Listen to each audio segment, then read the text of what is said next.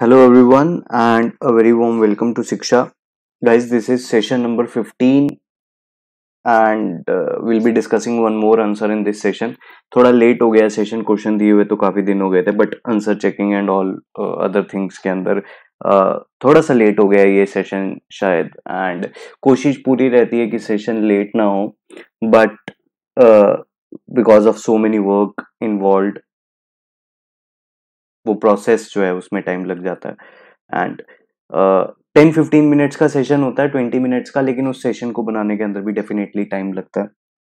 सो आई excuse नहीं दे रहा हूँ सॉरी फील कर रहा हूँ है ना? चलिए अब कोशिश करेंगे सेशंस थोड़े से टाइम पे uh, रखें। चलिए सो so, क्वेश्चन इसके अंदर आप ऑलरेडी जानते हैं कि सेशन uh, 15 में जो क्वेश्चन हमने डिस्कस करना था क्रॉपिंग पैटर्न्स के ऊपर मैंने आपको क्वेश्चन दिया था। क्वेश्चन अभी दिखाऊँगा उसके बाद will be discussing the solution basically types of cropping pattern के ऊपर आपको लिखना था। टेन मार्क्स uh, के लिए फिफ्टीन सॉरी टेन मार्क्स के लिए फोर हंड्रेड वर्ड्स तक का आपको आंसर इसके अंदर लिखना था। I be showing you the answer और नॉन वीडियो के लिए जो एमसीक्यू कोर्स है, उसके लिए आप एक्सप्लोर कर सकते हो। नीचे डिस्क्रिप्शन में लिंक है, उसका अवेलेबल एक फ्री टेस्ट भी है, उसी में से वो भी आप देख सकते हो डिस्क्रिप्शन में लिंक है। फिफ्टी परसेंट कोड यूज़ करने के बाद आपको फिफ्टी परसेंट ऑफ़ का अराउंड थ्री हंड्रेड रुपीज़ का वो कोर्स पड़ता है और टू थाउज़ेंड से भी ज़्यादा उसके अंदर एमसीक्यूज हैं तो आपके लिए काफ़ी यूजफुल है। प्लीज़ उसको ज़रूर एक्सप्लोर करें। तो क्रॉपिंग पैटर्न इन इंडिया की बात करनी है। अच्छा क्रॉपिंग पैटर्न के अंदर ना डेफिनेशन अभी हम पहले देखेंगे उसके बाद टाइप्स देखेंगे। कई बच्चों ने ना इसके अंदर एक बड़ा मिस्टेक जो किया है वो ये है कि they have started explaining the seasons जब हम क्रॉपिंग पैटर्न की बात करते हैं ना डेफिनेटली क्रॉपिंग पैटर्न के अंदर आ, दो डायमेंशंस बेसिकली कवर होती हैं। एक डायमेंशन तो होती है जो आपकी क्रॉप्स की अरेंजमेंट क्या है, ठीक है? एक डायमेंशन के अंदर मैं अभी आपको लेमैन लैंग्वेज में समझाने की कोशिश कर रहा हूँ, ठीक है? उसके बाद हम देखेंगे टेक्निकल एक्सपेक्ट्स तो एक तो होता है कि आपका क्रॉप्स का पैटर्न क्या है, ठीक है? आप मोनोक्रॉप कर रहे हो मल्टी क्रॉप कर रहे हो, जिसको हम क्रॉपिंग पैटर्न बोलते हैं। दूसरी चीज़ जो आती है, वो आती है आपका सीज़न ठीक है? क्रॉपिंग सीज़न अब क्रॉपिंग सीज़न को भी आप एक डायमेंशन है वो, जो पैटर्न के अंदर डिस्कस की जाती है। बट जब स्पेसिफिकली आपसे क्रॉपिंग पैटर्न के टाइप्स पूछे ना तो आप सीज़न वाले एस्पेक्ट में मत जाएँ। And that too for a ten mark question जो 400 वर्ड का है। अगर आपका 600 नंबर का क्वेश्चन होता तो क्रॉपिंग पैटर्न में आप टाइप्स ऑफ़ क्रॉपिंग पैटर्न को डिस्कस करने के बाद सीजनल एस्पेक्ट को भी डिस्कस कर सकते थे कि भाई राबी है खारिफ है लेकिन इस क्वेश्चन के अंदर आपको क्रॉपिंग पैटर्न ही डिस्कस करना था। I have seen two three answers उसके अंदर उन्होंने बच्चों ने सीज़न uh, को डिस्कस uh, कर दिया है। That is one of the dimension मैं ऐसा नहीं कह रहा कि वो उसका डायमेंशन नहीं है। लेकिन जब हम specifically types of cropping pattern demand कर रहे हैं एक टेन मार्क क्वेश्चन के अंदर, तब हमको स्ट्रिक्टली जो है जो आपका स्पेशल अरेंजमेंट है, उसके ऊपर हमारा फोकस जो है वो रहना चाहिए क्रॉपिंग पैटर्न के ऊपर। ठीक है? तो क्रॉपिंग पैटर्न की बेसिकली डेफिनेशन क्या हो जाती है, अगर आप इसको डिफाइन करोगे so it is defined as the proportion of land under cultivation of different crop at different point of time ठीक है? तो इस डेफिनेशन के अंदर एक एस्पेक्ट आ जाता है सीजनल का भी, जैसे राबी खारिफ जायद हमारे यहाँ पर होता है। ठीक है? This indicates the time and arrangement of crop in a particular land area और अगर आपके कोई भी क्रॉपिंग पैटर्न के अंदर चेंज आ रहा है तो उससे आपका जो proportion of land under different crops है, वो डेफिनेटली चेंज हो जाएगा। जो आप स्पेस फॉलो कर रहे हो, जैसे रोज के बीच में या क्रॉप्स के बीच में आप जो स्पेस फॉलो कर रहे हो या दो क्रॉप्स के बीच में जो आप टाइम इंटरवल फॉलो कर रहे हो, उसके अंदर भी चेंज आते हुए आपको दिखेगा। इंडिया के अंदर जब हम बात करते हैं क्रॉपिंग पैटर्न की तो इसमें जो मेनली फैक्टर्स इफ़ेक्ट करते हैं, उसमें आपका रेनफॉल आ जाता है टेम्परेचर आ जाता है climate technology soil tape type आ जाता है। और भी बहुत सारे सोशल फैक्टर्स उसके अंदर आते हैं, वो भी मैं अभी डिस्कस करूँगा कि फैक्टर्स इन्फ्लुएंस कौन से करते हैं। दो, वो हमारे क्वेश्चन का पार्ट नहीं था, जो मैंने आपको क्वेश्चन दिया था, वो उसका पार्ट नहीं था but still will be discussing that aspect also कि अगर वो किसी क्वेश्चन के अंदर आपको यूजफुल हो जाए तो। ठीक है? और मैक्सिमम यील्ड करने के लिए यील्ड को मैक्सिमाइज करने के लिए अलग अलग पैटर्न्स जो है क्रॉपिंग पैटर्न्स जो है, उनको प्रैक्टिस किया जाता है। तो क्रॉपिंग पैटर्न्स में मेनली आपके दो टाइप आते हैं, ठीक है? तो आप एक लाइन अपने आंसर के अंदर लिख सकते हैं there are mainly two types of cropping pattern one is called monocropping and the other one is multi cropping monocropping तो आप सिंपल समझ सकते हो मोनो क्या होता है? सिंगल ठीक है सिंगल क्रॉपिंग तो बेसिकली इसके अंदर क्या है कि आप पूरे पीस ऑफ़ लैंड के जितना भी बड़ा आपका खेत का साइज़ है, उसके ऊपर आप एक सिंगल क्रॉप ग्रो कर रहे हो। या तो राइस ग्रो कर रहे हो तो पूरे फ़ील्ड के ऊपर राइस ग्रो कर रहे हो। वीट ग्रो कर रहे हो तो पूरी फ़ील्ड के ऊपर वीट ग्रो कर रहे हो। और इसी वजह से इसको मोनोकल्चर कहा जाता है, क्योंकि सिंगल क्रॉप की आप कल्टीवेशन कर रहे हो, या मोनोक्रॉपिंग इसको कहा जाता है। ठीक है? अब ये प्रैक्टिस जनरली क्यों फॉलो की जाती है? जहाँ पर आपको ऐसा लगता है कि यार, इस पर्टिकुलर क्रॉप के लिए ना, इससे अच्छा क्लाइमेट है ही नहीं कहीं। ठीक है? एक्सट्रीमली आप का जो वो पर्टिकुलर क्रॉप है, जिसको आप मोनोक्रॉपिंग के लिए ग्रो कर रहे हो, आपका जो एरिया है, वो extremely suitable for that particular crop है। जो सोशो इकोनॉमिक कंडीशन है फार्मर की, वो इस तरह की है कि वो उस पर्टिकुलर सिंगल क्रॉप को ग्रो कर सकता है। तो ज़ाहिर सी बात है मोनोक्रॉपिंग के अंदर फार्मर को ये दिख रहा है कि हाँ यार, मेरा एग्रीकल्चर जो है वो प्रॉफिटेबल हो सकता है। लैंड साइज़ भी इसके अंदर अच्छा खासा चाहिए होता है। मोनोक्रॉपिंग जनरली उन एरियाज़ के अंदर भी प्रैक्टिस की जाती है जहाँ पर आपका लैंड साइज़ बड़ा हो। ठीक है? स्पेशलाइजेशन होती है फार्मर की कि हाँ यार मेरी इस पर्टिकुलर क्रॉप को ग्रो करने के अंदर स्पेशलाइजेशन है उस पर्टिकुलर एरिया के अंदर। जैसे अब कैनाल इरिगेटेड एरियाज़ होते हैं या वाटर लॉग्ड कंडीशंस होती है, जहाँ पर इरिगेशन प्रॉपर है या जहाँ पर वाटर लॉगिंग वाली चीज़ है, वहाँ पर राइस ग्रो की जाती है। क्योंकि और कोई क्रॉप ग्रो ही नहीं होती तो सिचुएशन जो है वो भी मैटर करेगी कि आपका जो वेरिएबल्स हैं वेरियस जैसे कि type of soil climate irrigation facility वो सब इसके अंदर जो है वो मैटर करेगी। मल्टीपल क्रॉपिंग ये तो टर्म इजीली आपको आ, समझ आई जाती है कि जब आप more than one crop grow कर रहे हो सेम पीस ऑफ़ लैंड पे एक एग्रीकल्चरल सीज़न के अंदर तो वो हो गया मल्टीपल क्रॉपिंग यानी कि आपके खेत में सिर्फ़ एक क्रॉप नहीं है आप मल्टीपल क्रॉप्स को ग्रो कर रहे हो टू हो सकती हैं थ्री हो सकती हैं फोर हो सकती हैं, वो डिपेंड करेगा आपकी चॉइस के ऊपर। ठीक है? तो यहाँ पर एक तरह से हम ये कह सकते हैं कि आप लैंड का इंटेंसिफिकेशन कर रहे हो। आप एक एक अवेलेबल टाइम के अंदर एक से ज़्यादा क्रॉप ग्रो कर रहे हो। मोनोक्रॉपिंग के अंदर क्या है? आप अगर छह महीने में आपकी क्रॉप जो है वो मेच्योर हो रही है तो वो छह महीने में आप एक ही क्रॉप ग्रो कर रहे हो। यहाँ पर आप मल्टीपल क्रॉप्स ग्रो कर रहे हो। तो डेफिनेटली टाइम और स्पेस जो है वो इंटेंसिफाई कर दिया। तो इसको इंटेंसिव एग्रीकल्चर भी आप बोल सकते हो। ठीक है जी? More crops at one time and more crops on same amount of land at any given period अब इसके अंदर जो मल्टीपल क्रॉपिंग है ना मल्टीपल क्रॉपिंग के ही वेरियस फिर फॉर्म्स आ जाते हैं. Inter cropping mixed cropping sequence cropping ये सब क्या है? ये मल्टी मल्टीपल क्रॉपिंग सिस्टम के ही एग्जांपल्स हैं. अब इंटर क्रॉपिंग क्या होता है? इंटर क्रॉपिंग जहाँ पर आप एक से ज़्यादा क्रॉप ग्रो कर रहे हो साइमल्टेनियसली एक सिंगल पीस ऑफ़ लैंड पे इंटर क्रॉपिंग में आप एक डेफिनेटिव रो पैटर्न फॉलो करते हो. डेफिनेटिव रो पैटर्न क्या हो गया? अब ये मल्टीपल रो पैटर्न हो सकते हैं depending on the crops that you are growing alternative crop row pattern भी हो सकता है। जैसे फॉर एग्ज़ाम्पल एक में राइस ग्रो किया, फिर दूसरी वीट की, फिर तीसरी राइस की, फिर चौथी वीट की, फिर पांचवी राइट राइस की, फिर वीट की। इस तरीके से आप ग्रो कर सकते हो। आप और कोई रेशियोज भी फॉलो कर सकते हो, जैसे फाइव रेशियो वन फॉलो किया जाता है। Okay now five ratio one के अंदर क्या होगा? फाइव रोज एक क्रॉप का, उसके बाद एक रो दूसरे क्रॉप का। फिर अगेन फाइव रोज फ़र्स्ट वाले क्रॉप का और वन रो सेकेंड वाले क्रॉप का। तो ये भी आप जो है फॉलो कर सकते हो। तो बेसिकली एक डेफिनेटिव रो पैटर्न है है ना? The system affords cropping intensity to be achieved over space dimension तो मैक्सिमम स्पेस यूटिलाइजेशन आप कर पाओगे।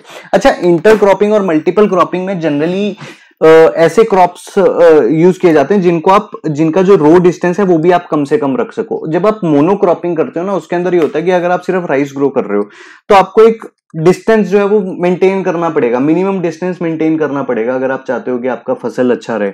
लेकिन इंटरक्रॉपिंग के अंदर आप क्या करते हो? इंटरक्रॉपिंग के अंदर क्योंकि आप अलग अलग क्रॉप्स यूज़ कर रहे हो, ठीक है? तो डेफिनेटली आप ऐसी क्रॉप्स यूज़ करोगे जो एक दूसरे के लिए हेल्पिंग रहती हैं न्यूट्रिएंट्स एंड ऑल में।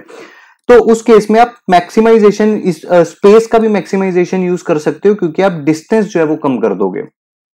ओके नाउ इनिशियली जो इंटरक्रॉपिंग था, इसको इंडिया के अंदर इंटरक्रॉपिंग की जब बात होती थी तो क्या बोलते थे कि यार, ये एक तरह के फार्मर को इंश्योरेंस प्रोवाइड करता है। क्यों? कि अगर एक फ़सल उसकी फेल हो गई तो दूसरी फ़सल से वो कमा लेगा।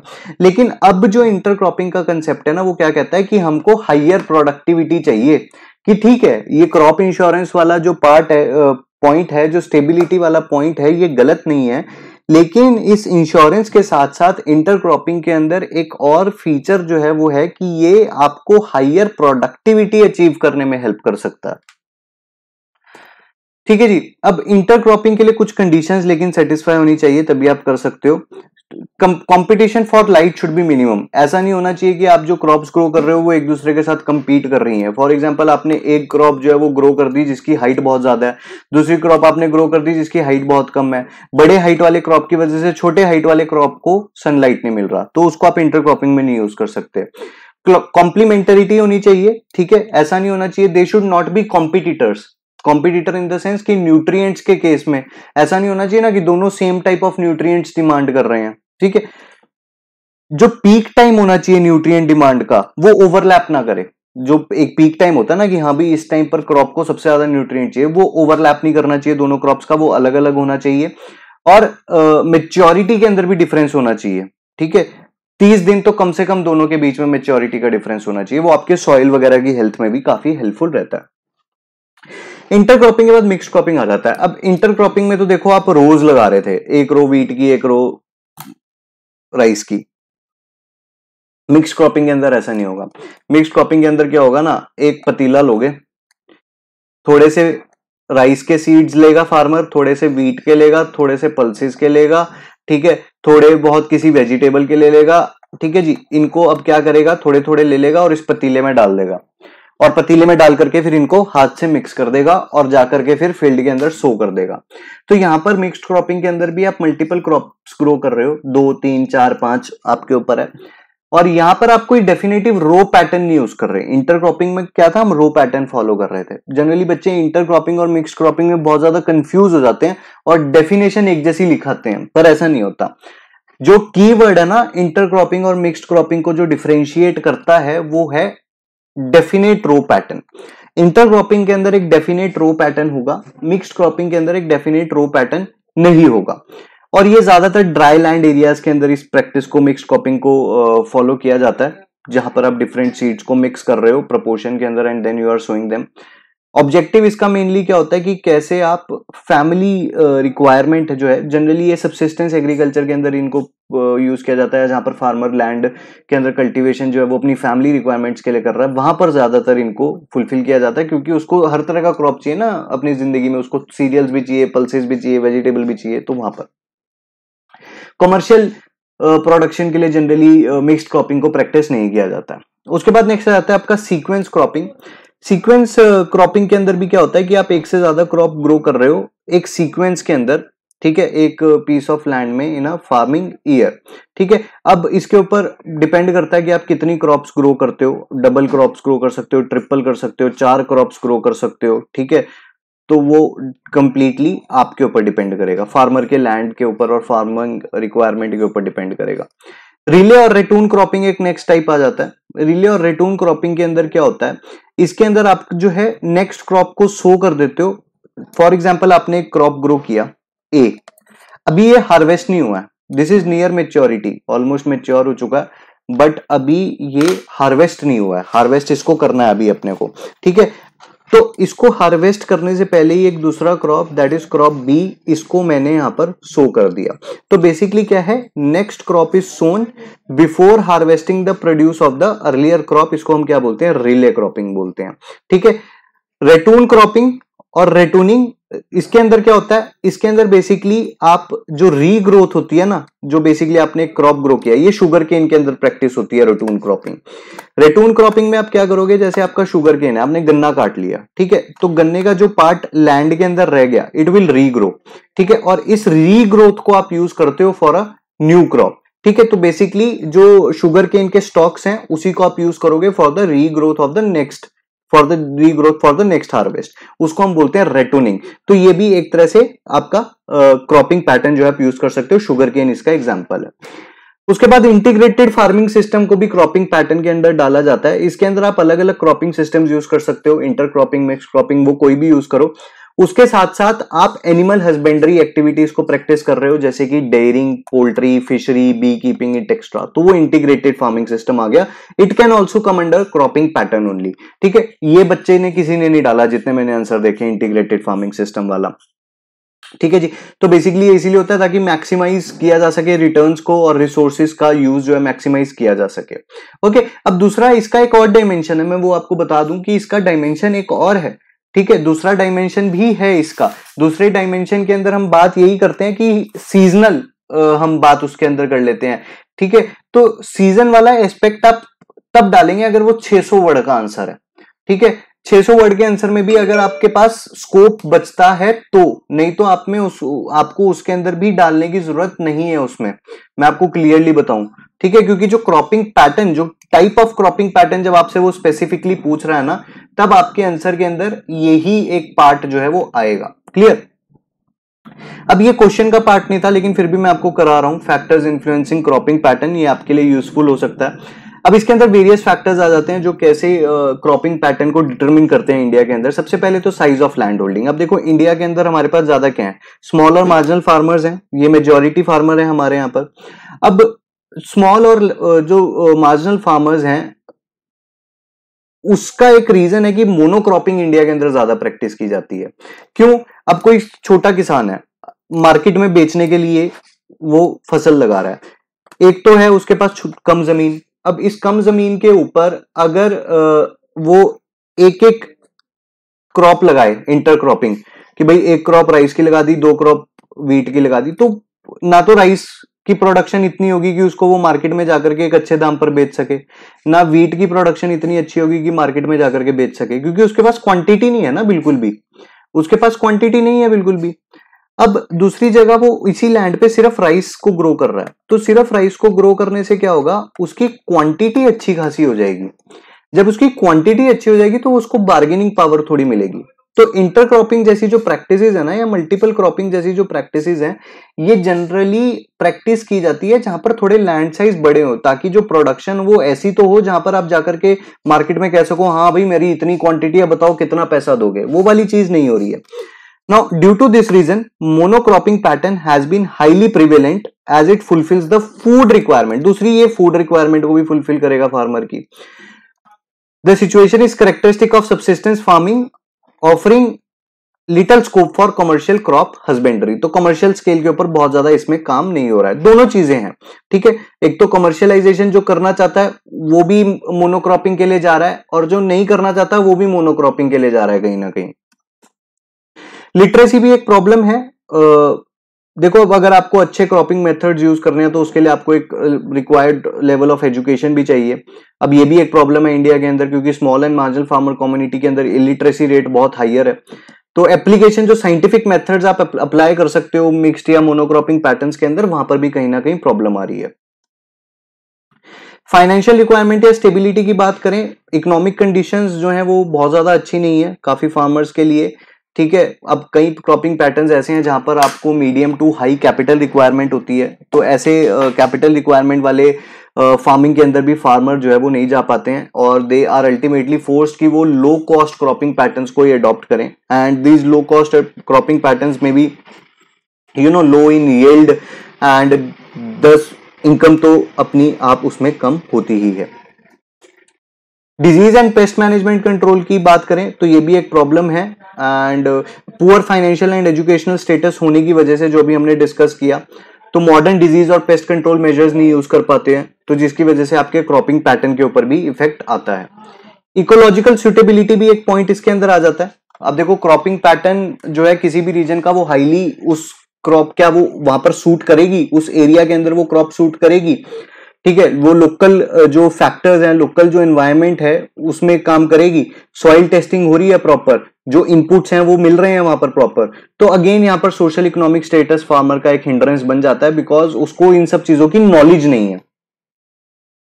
मॉइस्चर अवेलेबिलिटी ये एक क्लाइमेटिक फैक्टर आ गया कि बारिश कितनी हो रही है। मॉडर्न इरिगेशन फैसिलिटी चाहिए अगर ड्राई एरिया है, ठीक है? ड्राई लैंड फ़ार्मिंग टेक्निक्स अगर अप्लाई करनी है तो उसके लिए फिर लिटरेसी चाहिए स्किल्स चाहिए एजुकेशन चाहिए। तो ये भी कहीं ना कहीं एक प्रॉब्लम है जो इंडिया के अंदर क्रॉपिंग पैटर्न को नेगेटिव सेंस में इन्फ्लुएंस करती है। अब India is a diverse country दोस्तों। ठीक है? इंडिया हम सबको पता है कि एक डाइवर्स कंट्री है। यहाँ पर क्रॉपिंग पैटर्न सेम नहीं है पूरे देश के अंदर। अलग अलग जगह पर आपको अलग अलग क्रॉपिंग पैटर्न्स जो है वो फॉलो होते हुए दिखेंगे। तो रीजन क्या है कि इंडिया के अंदर क्रॉपिंग पैटर्न इतना डिफरेंट है? तो देखो बेसिक रीजन है रेनफॉल सबसे बड़ा रीजन पानी। क्योंकि पानी जो है हमारे यहाँ पर बारिश जो है वो वेरी करती है एक जगह से दूसरी जगह पर। अब अगर मैं इंडिया के एग्रीकल्चर को तीन बेसिक एरियाज़ में डिवाइड करूँ, ठीक है? तीन ब्रॉड एरियाज़ में डिवाइड करूँ तो एक तो वो एरिया आ गए जहाँ पर one one five zero M M से ज़्यादा रेनफॉल हो रही है, एक वो आ गए जहाँ पर साढ़े सात सौ से वन वन फाइव ज़ीरो के बीच में हो रही है, और फिर आ गए आपके सेवन फिफ्टी एम एम से बिलो वाले। अब ज़्यादातर अगर आप देखोगे, असम, केरला, ओडिशा और वेस्ट बंगाल वाले जो एरियाज़ हैं, ये कहाँ पर आते हैं? ये फ़र्स्ट कैटेगरी में आते हैं, जहाँ पर one one five zero M M से ज़्यादा हो रही है। अब यहाँ पर बेसिक प्रॉब्लम क्या है? यहाँ पर पानी तो है, पर इरिगेशन पोटेंशियल पूरी तरीके से डेवलप नहीं है और ड्रेनेज काफ़ी पुअर है। वाटर लॉगिंग सिचुएशंस जैसी प्रॉब्लम आपको यहाँ पर देखने को मिलेंगी। और इसीलिए यहाँ पर जो क्रॉप मेजरली ग्रो की जाती है, वो है राइस इसके अंदर मेनली जो मैं डायमेंशन डिस्कस कर रहा हूँ ना, वो सीजनल डायमेंशन आ जाएगा, वो खारिफ, राबी वाला। ठीक है? जो तमिलनाडु यूपी आंध्र प्रदेश वाले एरियाज़ हैं, काफ़ी सारे, वो सेकंड कैटेगरी में आ जाते हैं, साढ़े सात सौ एम से ग्यारह सौ पचास एम में। अब यहाँ पर मिनी मिनी और मेजर इरिगेशन फैसिलिटीज़ का पोटेंशियल भी है और काफ़ी ज़्यादा डेवलपमेंट भी हुई है। उसके बाद थर्ड कैटेगरी में आ जाते हैं आपके आंध्र प्रदेश, कर्नाटका, महाराष्ट्र और राजस्थान के कुछ एरियाज़ जहाँ पर बारिश काफ़ी कम है, ठीक है? जहाँ पर आपकी बारिश जो है वो साढ़े सात सौ एम से नीचे है। ठीक है? उसके अलावा और भी फैक्टर्स हैं रेनफॉल के अलावा। ट्रेडिशनल सोशल प्रैक्टिसेस होती हैं, या जो लोगों की डाइटरी हैबिट्स होती हैं रीजन टू रीजन हमारे यहाँ पर डाइटरी हैबिट्स जो है, वो वेरी करती हैं। डिज़ीज़ और पेस्ट कंट्रोल मैनेजमेंट कैसा है लोकल लेवल के ऊपर? ठीक है? प्रॉफिटेबिलिटी क्रॉप्स की अलग अलग रीजन में अलग अलग क्रॉप्स की प्रॉफिटेबिलिटी है। ओके okay, उसके बाद कौन सी क्रॉप को फार्मर स्टेबल कंसीडर करता है कि हाँ यार इसका यील्ड जो है वो ठीक आ जाएगा मार्केट में भी बिक जाएगा डिज़ीज़ के भी चांसेस कम है और मेरा खर्चा भी कम होगा। तो जो प्रॉफिट मैक्सिमाइजेशन और कॉस्ट मिनिमाइजेशन वाला एस्पेक्ट है वो भी एक रीजन आ जाता है कि क्रॉपिंग पैटर्न क्यों डिफरेंट है? अलग अलग एरियाज़ के अंदर अलग अलग क्रॉप्स की डिमांड होती है, ठीक है? तो डेफिनेटली इसी वजह से रीजन रीजन वाइज जो है, आपका क्रॉपिंग पैटर्न जो है वो डिफर करता है। ठीक है दोस्तों this was it and conclusion इसके अंदर आप क्रॉपिंग पैटर्न के अंदर आप अप्रोप्रिएट दे सकते हो। That cropping pattern plays a huge role in the yield of a particular agricultural crop and also protect farmer from adverse climatic conditions and also keeps the soil healthy ठीक है, इस तरीके से आप पॉइंट्स डाल करके उसके अंदर कंक्लूड कर सकते हो। मैं बार बार बोल रहा हूँ, मैं आपको यहाँ पर चम्मच से आंसर खिलाने नहीं आता हूँ लेक्चर के अंदर। ठीक है क्वेश्चन आपको मिल जाता है। यहाँ पर एक तरीके से आपको थोड़े बहुत पॉइंट्स मिल जाते हैं वीडियो के अंदर। उसके अलावा ये नहीं है कि इसमें आंसर डिस्कस हो रहा है। ठीक है एज इट इज़ मैं कोई ये 400 वर्ड का या 600 वर्ड का आंसर आपको लिख करके नहीं दूँगा। फिर तो आपका कुछ काम ही नहीं होगा ना, फिर कैसे सीखोगे? अगर वो थाली में सजा करके दे दूँगा, क्योंकि वहाँ तो मैं आ नहीं पाऊँगा पेपर देने। ठीक है जी, चलिए, अभी इसके लिए इस लेक्चर के लिए इतना ही दोस्तों। नेक्स्ट जो सिक्सटीन लेक्चर है, उसके अंदर टाइप्स ऑफ़ सॉइल का जो क्वेश्चन है, वो डिस्कस कर लेंगे। काफ़ी बच्चों ने उसके ऊपर भी आंसर लिख करके भेजा है, अच्छे आंसर लिख करके भेजे हैं। ठीक है, चलिए तो अब इस लेक्चर के लिए अलविदा कहूँगा, और चैनल को अगर सब्सक्राइब नहीं किया तो उसको ज़रूर सब्सक्राइब कर लो। चलिए, मिलते हैं नेक्स्ट लेक्चर में। Till then take care and bye